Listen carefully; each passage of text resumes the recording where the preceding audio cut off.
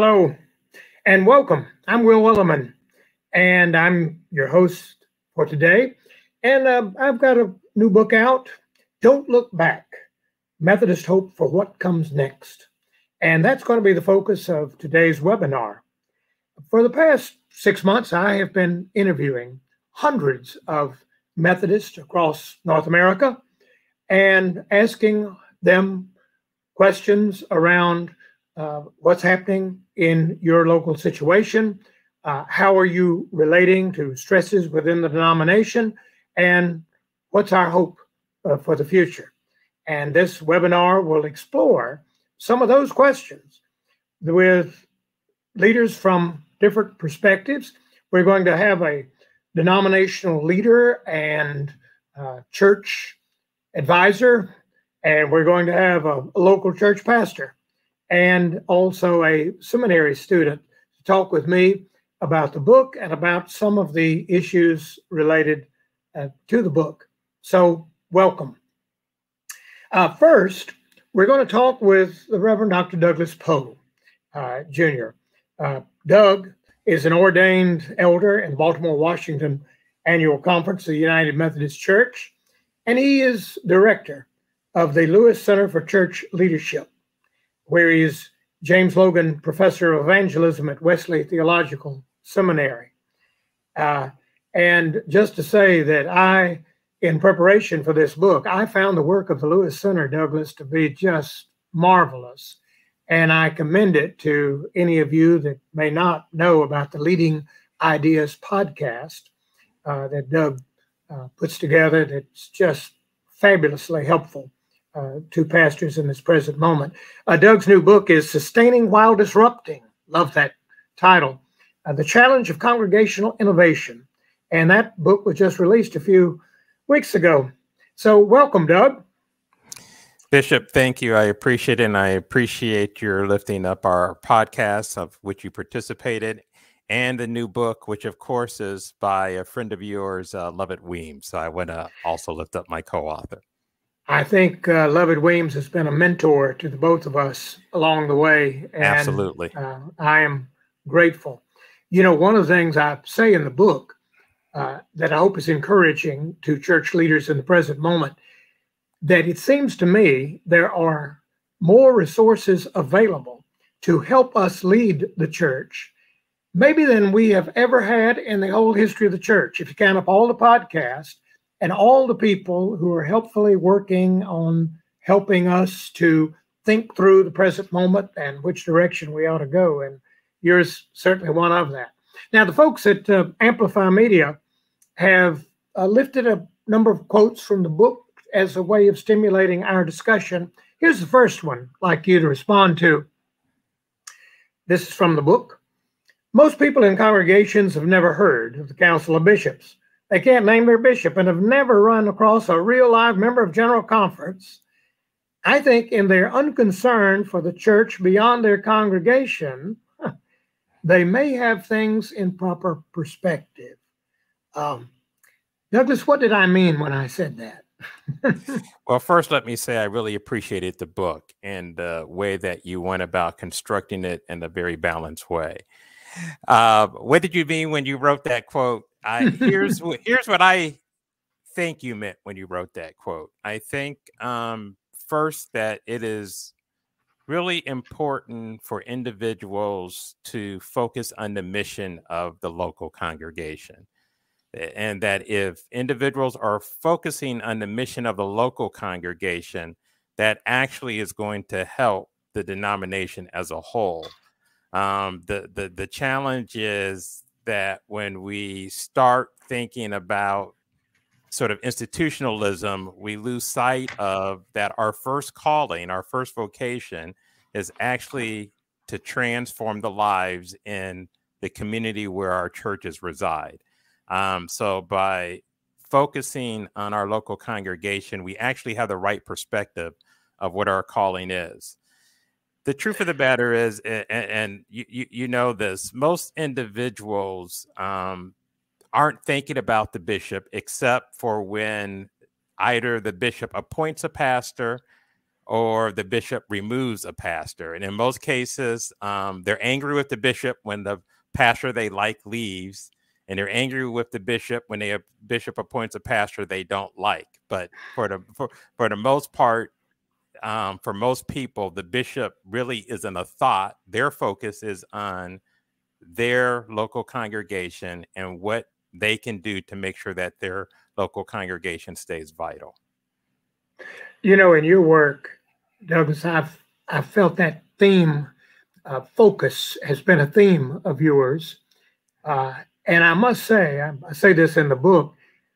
I, I think for Methodist, United Methodist, uh, for some time, um, the general church can be for the local congregation uh, a distraction. We can get, we can maybe give too much power to who the bishop is, what the bishop is doing or not doing, uh, to what general conference ought to do, might do, should do. And that can be distracting. In, in the book, I give an instance of my own experience visiting preacher in a local congregation. Median, the average attendance is about 30. And um, the average age of the congregation, from what I could tell, seems to be about 65. And after church, I was meeting with leadership of the congregation, as I often asked to do. And I asked the leadership, which consisted uh, of six older women, about my age, and I asked them, well, what is the biggest challenge you face in this congregation? And the church, they responded, our biggest challenge is the Methodist Church. And I said, Oh, in what way? And they said, When they chose to ordain that uh, lesbian bishop out west somewhere, they made it a lot harder here for us. And I, I didn't say it, but I thought it. Are you kidding me? Uh, this, this congregation, from what I see, will not be here in about five or six years. And you're telling me that the actions of some Methodists across the country that you don't approve of those actions are hindering you in some way from being the church here. Uh, so I like your emphasis on focus. Uh, you know, in your new book, Douglas, you, you talk about, uh, I, lo- I, love that image, sustaining while disrupting. Uh, or is it disrupting while sustaining? A- anyway, uh, the two go together. These this this two uh, seemingly paradoxical things. Um, I think that's we got to figure out how to both lead in a disruptive time in the church, but maybe in your book you suggest about how we, we may also need to be leaders of disruption in this particular time in order to sustain. Well, here's a quote um, that I had in my book.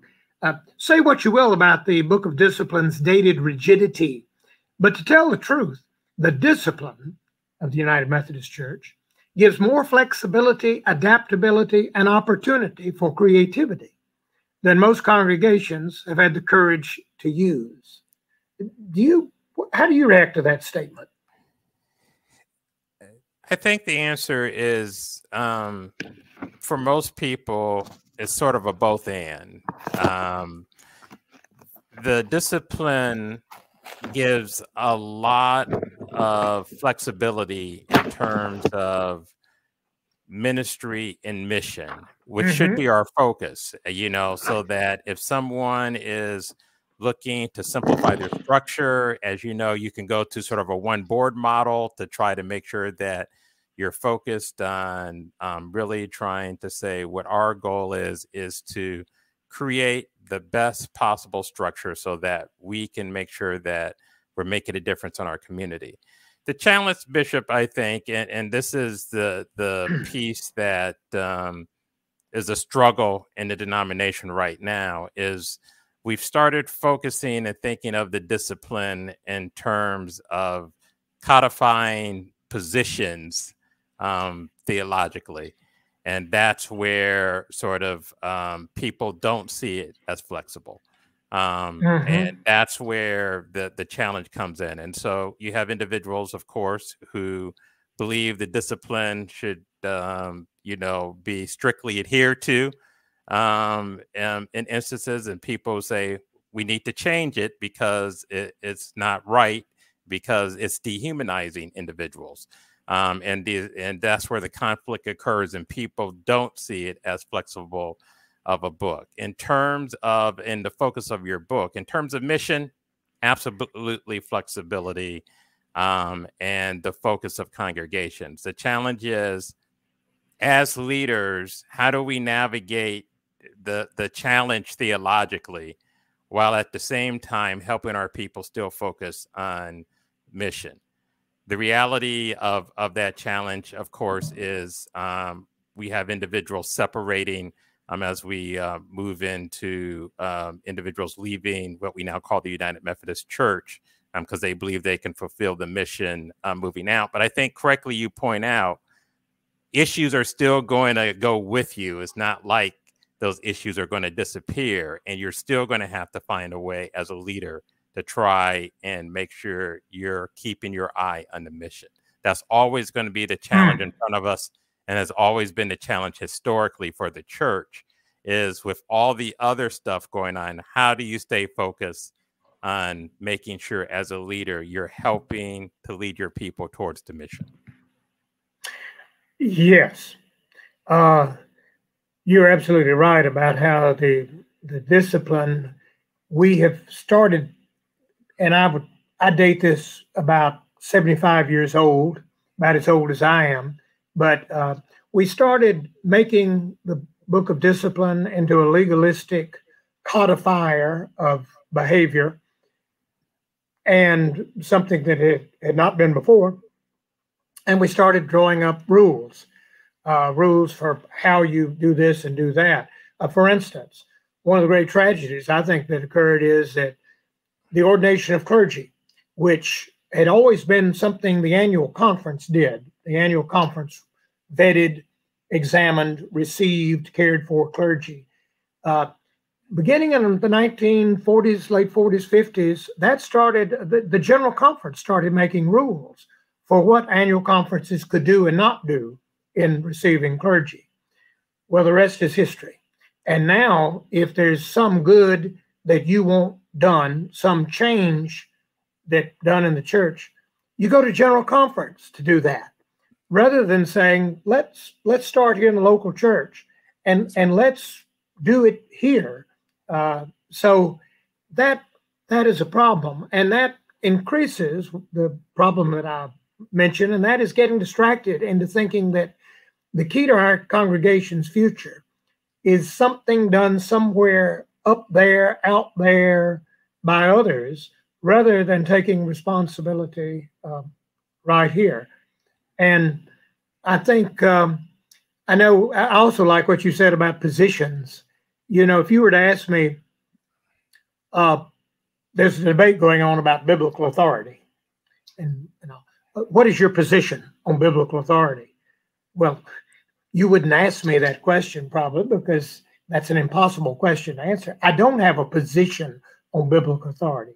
I have a keen, deep sense of biblical authority, but it's in process. It, it depends on the biblical text we're dealing with, it depends on uh, my own theological commitments, etc.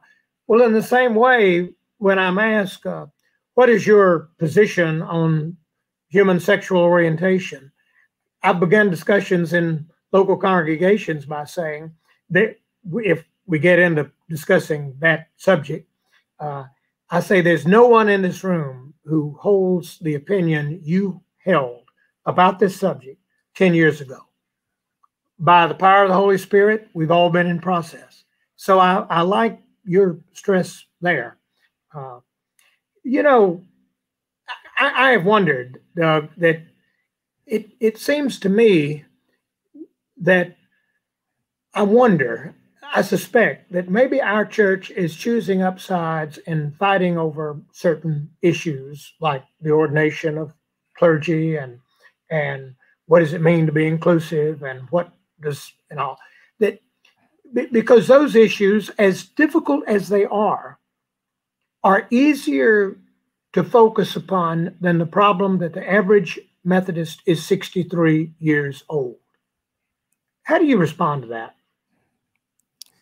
I think that um, it's true that that the reality is, in a perfect world, if the United Methodist Church stayed together, we would still have a major problem, and that the hmm. decline of the denomination, um, given that every year we've seen a decrease in the number of people connected to our churches um, since 2002. It's been a sharp decline. Um, continues. So, so the fact that we are now experiencing um, this time of separation really is just pointing to a deeper issue that we have not, as a denomination, actually figured out how do we reclaim from our history that missional focus of um, making a difference in communities where people are willing and interested to connect with our congregations. Now, saying this, of course, this isn't every congregation. There are many congregations that are doing this well, but there's not enough of them. Um, that's why the average age in our congregations are is so high, and why, regardless of what happens, um, there's going to be a lot of work to do um, if we are going to continue um, to move toward vitality as a denomination um, as we move forward. You have eloquently uh, focused on this in your podcast and in the leading ideas work. Uh, and I, I, thank you that I, I, say if if we had never had a pandemic that we're coming out of, if our if our denomination was not thinking about separating at all, we would still have a massive problem. Yeah. And that is our church is aging. We have lost contact with now three, maybe four generations of younger Christians. That would be a problem.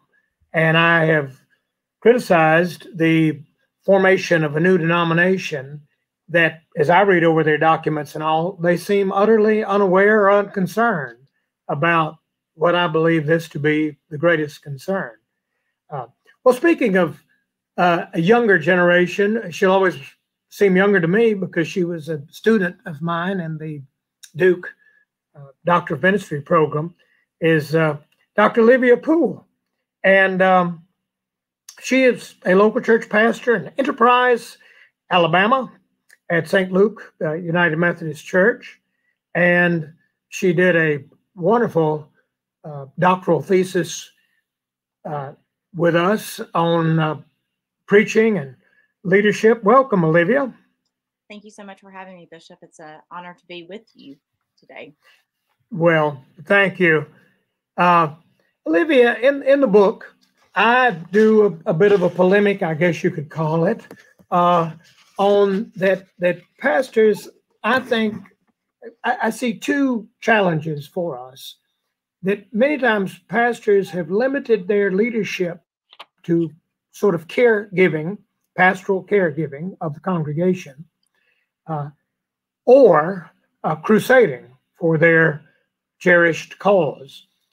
And I fear in the present moment, with declension and talk of separation and all, that that both of these modes are inadequate for leading change uh, in the congregation in the future. I, or as I said in a recent Christian Century article, uh, caucusing is easy. Church, that's hard. That's right. How do you, what what are you doing in your own leadership as a pastor that you think is, is working at this issue of leading in the present moment? One of the things that I really appreciate um, about the book, but also just kind of in our conversations, is the idea that your actions have to have some form of accountability. And uh, in chapter five, you say strategy must be ruthlessly accountable to your congregational statement of purpose, um, which was something that I really that really kind of spoke to me when I read that. Huh. Um, St. Luke right now we are doing a whole entire mission uh, or a whole entire sermon series looking at the mission of our church. And we're doing it as part of our stewardship campaign, but about once every 2 or 3 years we take apart our mission statement and we really look at it during worship and Wow. we evaluate it intentionally. And I wanted to read real quick the mission of our church. Our mission is to love as Jesus loves with sacrifice and obedience, without judgment or condition. And in doing so, to win everyone to Christ, to disciple people in the faith, and to glorify God.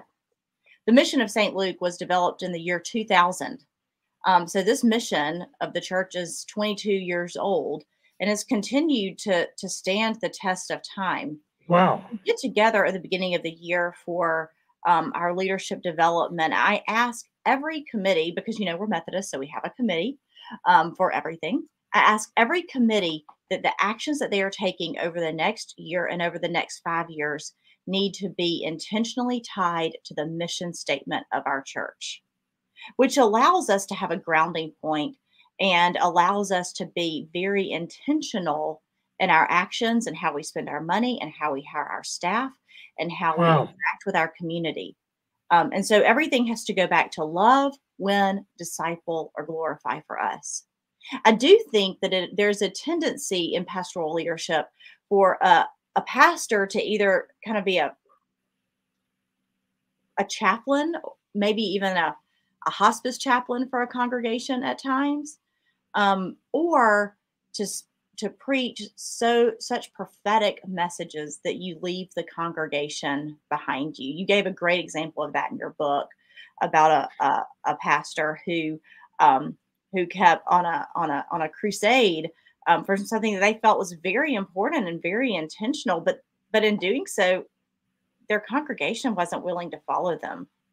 You can only be a leader if folks are willing to follow you. If not, Hmm. making noise into a space, right?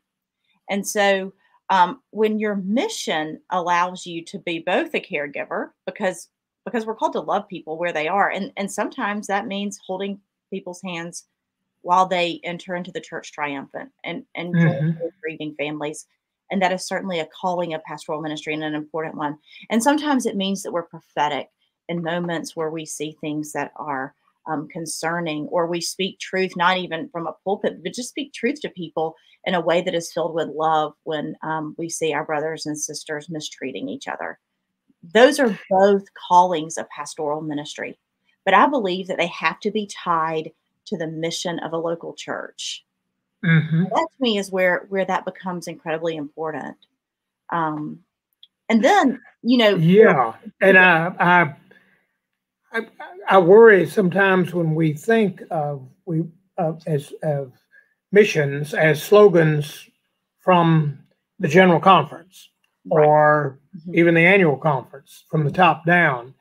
That that that's where the mission. No, the mission happens locally, and the the importance of holding oneself accountable. I, I love your mission statement, but I also love the way you appear to be wanting to make that mission statement mean something in the way the congregation spends its money, in the way you spend your time as a pastor. Uh, what what's neat? So I think that's that's great. Uh, that it also that allows accountability in a way i think is powerful really yeah, and you know, your mission statement is a statement of what you will hold yourself accountable to. Uh, for instance, uh, in that mission statement that you read of your church, uh, you know, it, it appears you aspire to work as a church uh, without being judgmental. I noticed we were talking earlier with Doug about uh, reaching younger generations. I saw the other day that in preaching, uh, if you're under 30, one of the main things that you want in preaching is for it not to come across as primarily judgmental and critical.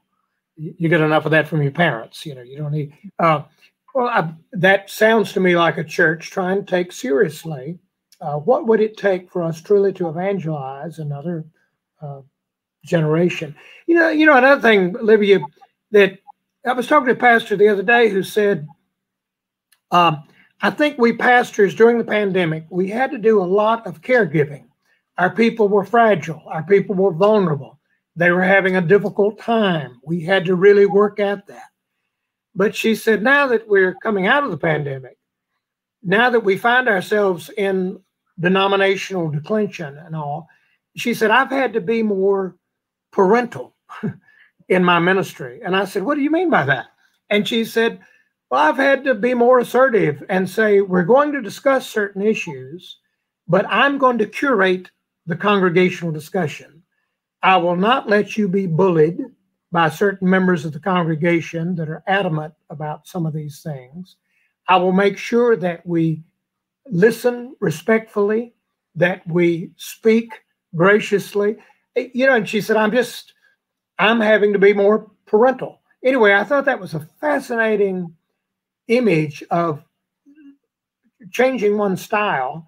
How, how have you, do you think you have, uh, for instance, have you found yourself needing to be courageous as a leader in the present moment in a way that is notable? Um, you know, first of all, St. Luke is a wonderful church. I think I've told you that when we when we've talked about this before. This is you a did? congregation, um, and so there is there's no one here who is a bully. Um, I, I know that my colleagues um, certainly are experiencing that at times in their own congregations, but that's not the case here. Um, Mhm. and so, so I think for us, courageousness for us and courageousness in this context, although I will readily admit it is not every context at this moment, is keeping the main thing the main thing. Keeping Hmm. focused, Sounds like the focus that Doug was talking about earlier. right? Okay. Keeping focused on loving as Jesus loves, keeping focused on winning people to Christ, keeping focused on discipling people in the faith, keeping focused on glorifying God. And and for us, these kind of periphery conversations about denominational stuff, we talk about it, but we talk about it in church council. We don't talk about it during worship. Um, and we've been really intentional to not do that. Interesting. We we discuss it in ways that are appropriate and we discuss it in ways that are helpful. But um, but you don't walk down the hall at St. Luke on a Sunday morning and hear people talking about that. You hear people talking about their families Mhm. and their weekends and what they have going on and um and so it's a gift i think during this season to serve st luke and it and, and i'm certainly blessed by that I You know, do- it's fascinating. You used the word accountability earlier, but it feels like you're holding yourself accountable to that mission statement and and urging your people to hold themselves accountable Mhm. has been for you sort of liberating or freeing uh, for you. I, you're too gracious, I'm sure, to do this, but I could imagine you, someone coming up and saying, uh, uh, Pastor, have you heard about this and what they're trying to do there? And and I should we be getting on board? Should we do? And you could say, um, here's the mission statement. Let's see, how is this relevant? Because this is my job to work on this mission. How is that relevant to this mission? Oh, doesn't appear to be relevant. Well, we don't need to have this conversation, I guess. Yeah, I, I love that. it has been really helpful i, I will say um, i'm also the chair of the conference board of trustees Okay. an interesting place for um, to serve in conference leadership in this season um, That's an understatement. Right. And so, um, you know, courageousness in those moments means having hard conversations when you have to have hard conversations and, ah, and not being um, easily offended, which, which I am not. Um, and, and being able to be clear and to be polite because I think that that is an important part of what we do Mm. at this moment is to try to, you know, respect each other, but then to also say, this is how this is, and this is what this looks like. And I understand Mhm. that you don't like it. And I understand that there's a lack of trust. And I am sorry for that, but that is where we are. mhm. And it just means having to have really hard conversations sometimes, especially when someone doesn't understand um, the financial piece or uh, any Mhm. number of issues. You know, one of the things I've realized. I love that mix of of being as gracious as possible, uh, but at the same time saying, uh, by the way, these are the boundaries under which we work. These are the rules. Here they are. Uh, you may not like it, but this. Um, gosh, I love though, Olivia. You're speaking of courage in terms of having difficult conversations. Uh, since my book came out, one of the most frequent emails I get from people is saying, We can't get our district superintendent or our bishop to talk about this. And I'd, I'd, say one of the purposes of the book was to help you as a local church pastor to talk to uh, to give you some ways of framing these difficult conversations. But I love the way, and I do run into church leaders sometimes who say, "Well, I just think we we ought to be gracious and affirming of everybody in these conversations. We always ought to be done with respect." Well, as the district superintendent said to me, sometimes talk like that is a cover for I don't have the courage to have this conversation. So I'm going to say, let's all be gracious. You don't need to talk to me about it. Or that's your point of view, and that's beautiful since it's your point of view, rather than to say, let me let me try to engage you in a way that's uh, courageous. You can be respectful and truthful, and I think that I that's hope true. Uh, I hope. Ooh, um, I hope in my book I managed to do that. Uh, you did. I, am I'm, I'm looking forward to sharing this book with some of my um, lay members of, of well, my church as well. But um, but also, you know, as I was reading it, I would take a picture of it and and send it to some of my friends that are clergy and saying, "Have you seen this? You need to read this." You know. Ah, uh, Olivia, what we, we've been speaking in terms of ministry and the challenges of the present moment. What do you find joyful, hopeful about ministry in the present moment? Oh, you know, I, again, some of it is is very specific to our, our context and to my context. Um, mm-hmm. Um, I I feel so fortunate to serve St. Luke. Um, mm. I, this is my fifth year here, and I am so blessed by our staff and by our lay leadership. And I, I, really cannot say enough good things about this congregation.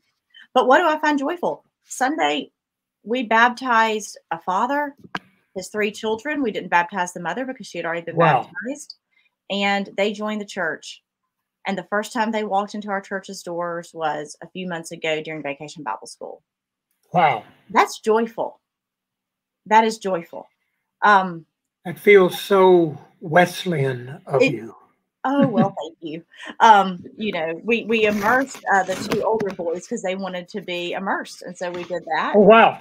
And we have a um, a farm trough that we use that we put in the worship space because we don't have a, a baptistry clearly because that's not how our church was built. So, in a in a feeding trough, we uh, we baptized these two young boys by immersion and their father by um, by pouring and the sister by sprinkling. And so it, it was a holy moment. And that's what hmm. energizes mm. me for ministry. What energizes me for ministry is people who do not have a church home, who who don't feel like they have a community to support them, to to come into St. Luke and realize that this group of people will walk with them in their life during times of joy and then during times of sorrow. And I think that is very true about this congregation. I will mm. tell you, when a church, when, when a family or an individual joins St. Luke, St. Luke keeps its promise to raise these children in the faith and to disciple them in the way that leads to life eternal. And it's powerful. Mm. And that's what excites me. You know, what excites me about ministry right now is the same thing that excited me about ministry when I was in seminary years ago. It is it is the opportunity to share the love of Christ with those um, in a hurting and in a difficult world. And um, and if that's not what is exciting a pastor about pastoral ministry during any season of ministry, I, I would encourage them to really rethink their calling. Hmm. Um, wow. Could I just say to everybody listening to this, watching this, uh, did you notice, Olivia, when I asked her, her voice, her excitement I mean, it was palpable the way it raised. And uh, let us take Olivia as a model that the more you think about what Jesus is actually doing in the local church level, the baptism you described, not only the baptism you described, but the way you described this church's living out of baptism and their responsiveness, uh, that's exciting. In fact, I, one of the great sadnesses uh, uh, in the present moment, I think, is to find people. I, I ask people when they're thinking about leaving the nomination or something, I say, Have any of you failed to meet Jesus here in your local church? Have, have any of you uh, found that your local church is failing you in helping equip you for discipleship? Nobody ever responds, Yeah. No, the, the sad thing is they they love their local church. In fact, they don't want to be a part of a new denomination unless they can take their whole local church with them. Uh, which I think is it makes all the more sad that people are getting distracted in away from. I noticed when I asked you what excites you, what gives you hope, you didn't mention being a conference trustee, Olivia. This oh. doesn't seem to be the thing that feeds you. no, but but I will say I do think that I have gifts and graces for this season to do that. Um, is it right. what excises me? and what you know when i wake up in the morning i think oh great i've got a trustees meeting today i can't wait to hear what's going on in these local churches that are arguing and fighting no but um but i do think i have the gifts and graces to lead that body during this difficult moment. wonderful i, I, I love the way say, you articulate that and proud of uh, your work. And uh, as you all can see olivia was a wonderful student.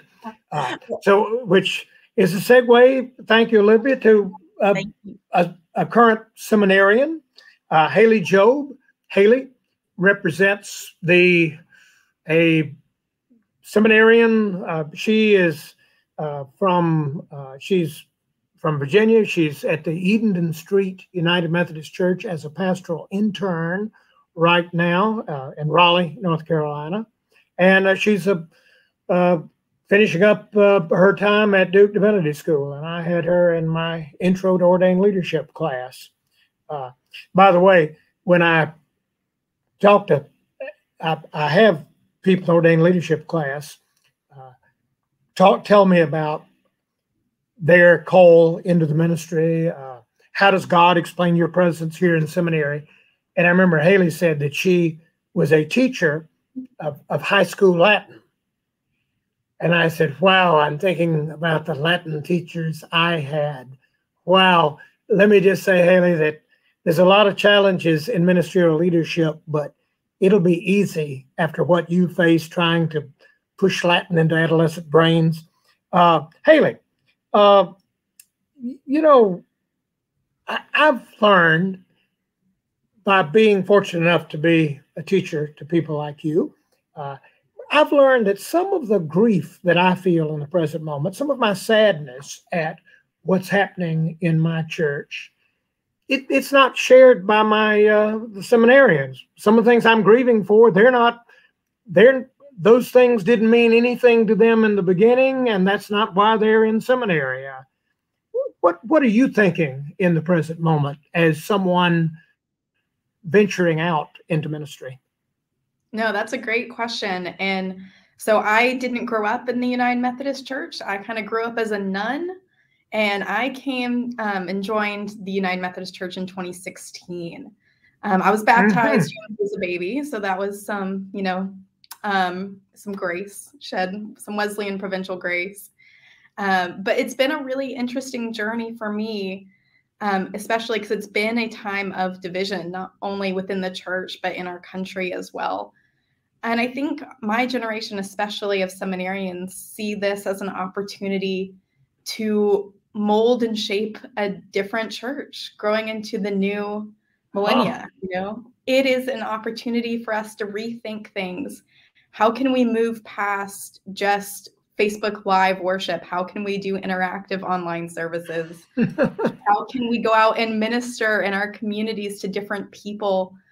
um, the people that come into our own space how can we share the word with them in a different way And I think we're able to use all of this creativity that we have held within us for a long time. And it's finally just coming out um, as the church kind of splinters and makes its pathways known. Wow.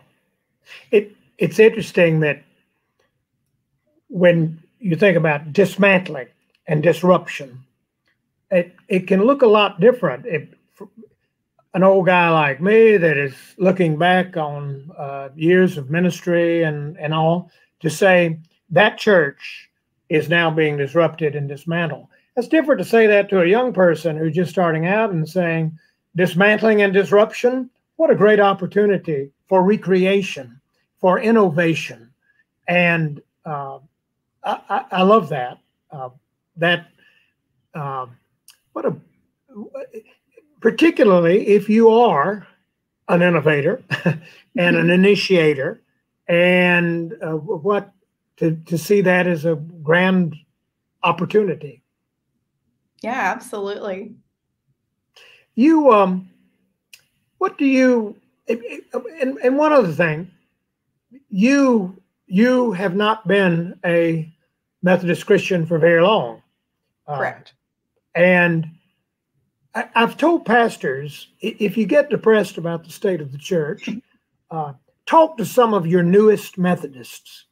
Ask them what brought you to this church. And I've been in conversations where the conversation will be fairly critical and negative. The bishops don't know what they're doing. General conference has failed us. Uh, the book of discipline is a mess of rules, et cetera, et cetera when somebody will speak up and say, Hey, I joined this church just two years ago. You don't know what a good thing you've gotten. I have been in churches that were very sure about biblical authority, mm-hmm. and it was miserable to be there. I have been in churches where clergy didn't answer to bishops, they didn't answer to anybody. And that's why I'm a Methodist, because sure there is there are structures of accountability. So I love your stressing. This can all look a lot different if if one has discovered the United Methodist Church as opposed to somebody like me that can't remember when I wasn't United Methodist. Absolutely. Yeah, I stumbled into a United a local United Methodist church as a college student because there were two options in Davidson, North Carolina. It's either to be a Methodist or to be a Presbyterian USA. and I fully just loved that my church, Davidson United Methodist Church, was being the hands and feet of Jesus in my community. Their mission statement wow. is that they will love God through worship, education, fellowship, and service. And as someone who was seeking a faith home, and you know, I had a lot of questions about faith. Mm-hmm. Um, that was the place I wanted to learn because I knew that Jesus wanted yeah. me to go out and serve and act and not just sit in the pulpit every Sunday. And that's what led me to Methodism. Uh, you talked about it in here, I'm going to pull out the book, my good seminarian student that I am. Oh, good for you. um, yeah. In chapter four, page 50, you say, the single most influential factor in the life of a Methodist congregation is its external focus. And that's what led me to be a Methodist was the work that my local church was doing. And I want came to seminary so that I can be part of that and be a leader within that as well. Yeah. I remember being in a discussion where we talked about uh, standards for clergy for ordination, which appears to be one of the major things we talk about when we gather. Uh, who should be ordained, who should not be mm-hmm. ordained. I remember in the discussion we were talking about uh, apportionments, and we were talking about uh, uh, general conference procedures and all. And there was someone there who said, uh, Has anybody ever joined a Methodist church uh, because of the things you're talking about? right. That absolutely all you people have got is Jesus Christ to offer to us. Uh, and yet you're offering us all these debates uh, that uh, about biblical authority, about uh, uh, sexuality and inclusion. Come on. Well, you you illustrate the power, the evangelistic power of a church being the church uh, focusing not on its self and internal maintenance concerns, but external concerns. Uh, you know, from your perspective, as somebody new preparing yourself, what uh, what do you see Jesus doing in the present moment in in Methodism that excites you? Yeah, that's a great question. I've really been thinking in, about how God is a God of creation. So, therefore, Jesus would be always creating, always doing new things. Um, and I'm really excited about how our churches are being innovative within our city of Raleigh. Innovative seems like my buzzword today. Um, but Not a bad word. Yeah, and we're focusing on hmm. intergenerational relationships, and that's truly where I'm seeing Jesus. Um, at Edenton Street, we participate in Wiggler worship, where our youngest saints of the church, so three year olds up to second Wiggler grade, worship. Yep, it's great. They are mm-hmm. walked out of the, they process out of the sanctuary um, to a song, and then they go and have their own worship space during the pro- proclamation. And they learn more about our community and Jesus and how they can understand him and be in fellowship with one another in a space that is exactly designed for their own learning capabilities. As you've already mentioned, I'm a teacher. Mm. So I always think it's really important when we scaffold to accurate levels. And then I absolutely see Jesus when the kids come in, they come back in um, as we do um, the Great Thanksgiving, and they actually bring us um, the bread. communion. Yeah. Mm-hmm. It's beautiful. And it's, I love that so, pattern. Yeah. Yeah. And it's showing the church like these are our youngest saints. They are just as important as the people who are sitting on SPRC, who are sitting on the board of trustees and we need to be pouring into them as well. So I really I Jesus would, uh, wow, what you've described. When I think about the energy and creativity that I fear is being wasted, worrying about denomination, uh, denominational creation, denominational dissolution, during a time when it appears all across the board denominations are over, uh, I think if that creativity could be channeled into creating something like you've just described, uh, how much better off we'll be.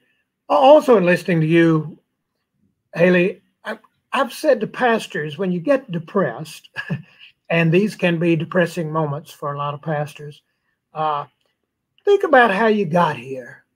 Think about that person that God somehow got into your head the crazy notion that you should be a leader and carer for Christ Church. Think about that. Remember that. And that initial vocational enthusiasm, well, what that remembering that can keep you going. And just you all can imagine what a privilege it is for me, uh, who sometimes gets down about the future, to encounter what Jesus Christ is doing and sending people like Haley into our church. In fact, I've said this to the students, I've admitted it, that I hear Jesus saying to me every time I greet a new class, um, Hey, I'm doing all that I need to do to give your church a future. I'm sending you the right people. Now, would you try to be not so boring and dull that you will run them away. Uh, well, Haley, thank. Let's uh, bring everybody back together here now, and uh, here's a statement I made in the book, and I'd like you to respond to this statement. And what about this statement do you find compelling, engaging, helpful? Uh, here's God begins locally in order to save universally. Read the Bible. The future belongs to pastors and congregations who refuse to be distracted by denominational conflict or to use a pandemic as an excuse for inaction. God's future is for those who ask tough questions, come up with surprising answers, and dare better to align themselves with their core identity and purpose as the body of Christ in motion. Your congregation, for any of its faults, is Christ's big idea to put right what's wrong with the world. Doug says we started with you. What's your response? Bishop, I um, I really love the quote, um, but I'm going to start with God begins locally. I, I think that that statement is just critically important. I think um, we sometimes get trapped into wanting to solve the huge problems of the world or the huge problems of the denomination. And the reality is, where God has placed us is in a local congregation to do the work in that congregation. And if we actually do that work, um, we can make a difference that is going to impact the denomination and it's eventually going to impact the world. Um, but we need to have more people focus on God begins locally. And we need to make sure we begin locally in our congregations and doing the work that God has called us to do. Uh, a great biblical scholar said of Acts, the Acts of the Apostles, Acts 2, uh, the Holy Spirit comes down from above, but the Holy Spirit works from the bottom up. Uh, and okay, again, Doug has used the word focus and uh, to, to see this time as a good time to focus on what we do that uh, Olivia, what do you find compelling in that? Interesting. First, or I what would you challenge? Yeah, no, I, I find it very compelling. I um I, I can't tell you how many times I have said we do not need to worry about people that we do not know in places many of us have never been. Um, and and I think that that is very true in our context that we need to be worried about the mission and ministry of the church here on a local level. Denominational issues and um, denominational conflict serve as a distraction to the work to which God has called us to do. And that's what I've told my congregation. That's what I really believe um, is that we are called to live out that mission that I said earlier to love, to win, disciple, and to Mhm. glorify here locally. Mhm. can get consumed with things happening across the denomination that you have seen on social media that are probably not factual or accurate.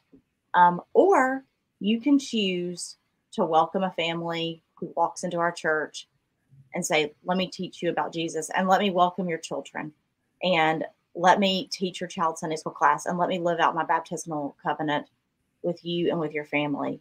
And let me look outside my community, outside these the walls of this church, and see how God is calling us to be in action here in Enterprise, Alabama. Um, Mm. and so It, it, it, it is sort of sad and ironic when we give events, people, reports uh, power over us, and to say, uh, because of something they did or said, we are now leaving. Uh, I must say, too, I, I say in the book that I believe there is no criticism anybody can make of the United Methodist Church or the Council of Bishops or General Conference that I have not made before them. And my statement has been much more harsh than the way you said it. Uh, that's that's called being church. That's called holding one another to account. That's called debating with one another just what part of Christ's mission has been assigned to us. What's wrong is to say, by the way, if this discussion doesn't go my way, or if I fail to talk you into my view on this subject, I'm leaving. That to me is destroys relationship, conversation, and and even growth uh, as Christians. Haley, uh, the word that I'm hearing is intentionality. And I've learned a lot in Hmm. seminary thus far. You know, I'm in semester three out of out of six, and I've learned the most about how to be intentional with my congregants, with my classmates, and with my professors. I think that's maybe how I got this today, getting to hang out with Bishop Willimon. But that's where it comes to at the end. It's caring for these people with your heart and being in prayer with them and meeting them where they're at. Wonderful. Uh, and I'm excited that you're excited about that endeavor. And I got to say, the wonder of, I can remember that wonders of, as a pastor, being in my first little rural church. And uh, I, I wondered at them and some of their attitudes about things, many of which I didn't approve of. Uh, but in my better moments, the wonder that God had entrusted me with God's people and that they were my flock and that I got to preach the word to them. And then I got to watch the Holy Spirit ignite the word among them uh, was great. Uh, thank all of you for this time. And thanks all of you for joining us uh, online. And um, let's, uh, here's a kind of concluding word to you that with which I conclude uh, my book. And, and it's this let's remember together how we got to be Methodist in the first place. Our mission, our hope, love in action, all Jesus ever wanted. Let's not look back. Let's listen when he says, Follow me. Thanks to all of you for being with us. Uh, by the way, Amplify Media has made three videos for Don't Look Back, the book, uh, three video teasers that you could use with a book in discussions with your church leaders or on uh, congregational retreats or for Sunday morning studies. And they are available uh, for free. And um, we've also created a leadership resource guide that you could find helpful in utilizing the book in your congregation. Uh, and you can find all of that by going to amplifymedia.com uh, to find out more about those videos, uh, the book, and the related resources. Uh, thanks to all of you for being with us.